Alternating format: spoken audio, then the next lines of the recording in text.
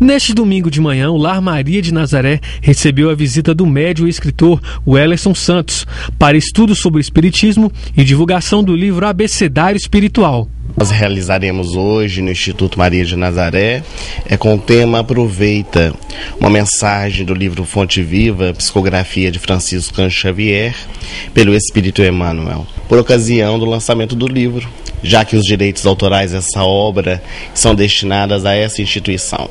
Hoje nós apresentaremos para as crianças aqui do lar, que farão logo após a peça um trabalho juntamente com os participantes da peça de biodança, para que elas possam ser entretidas e possam inteirar do trabalho realizado com o livro.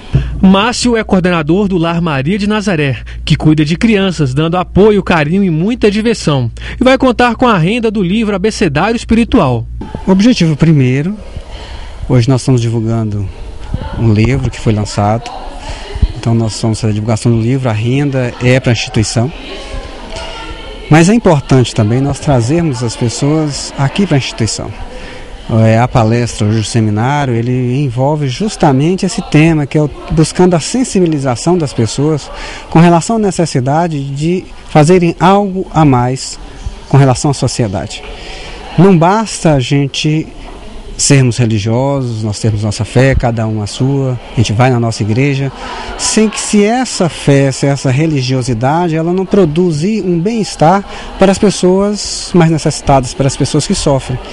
Então hoje nós vamos abordar justamente a necessidade da sensibilização com relação ao trabalho, ao trabalho social, ao trabalho de caridade. Essas ações são muito importantes para o futuro e beneficiará a casa. Eu acho que tem, é uma, tem uma importância fundamental. Por quê? Porque a palestra ela instrui né, o ser humano o livro, a doação do livro para ajudar as crianças, esse lá, essa casa que faz um trabalho fantástico, um trabalho maravilhoso. Então eu acho que eh, nós só temos a ganhar, é enriquecer o ser humano, melhorar a sua autoestima, é, o ser humano como um todo.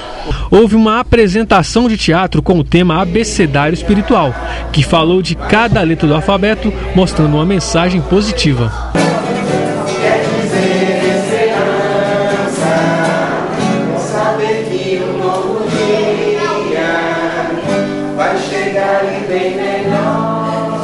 Os artistas falaram da participação no evento.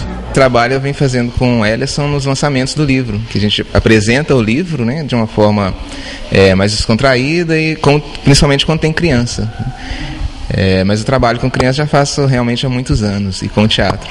Trabalho a gente começou a realizar no final do ano passado, de 2012, é, em parceria com o Ellerson, que é o que psicografou o livro de Made, o Abecedário Espiritual. Então ele nos convidou, eu e o Adriano Alves, para a gente estar tá fazendo esse esquete teatral né, da boneca e o palhaço. E assim, terminando o dia com estudos espirituais.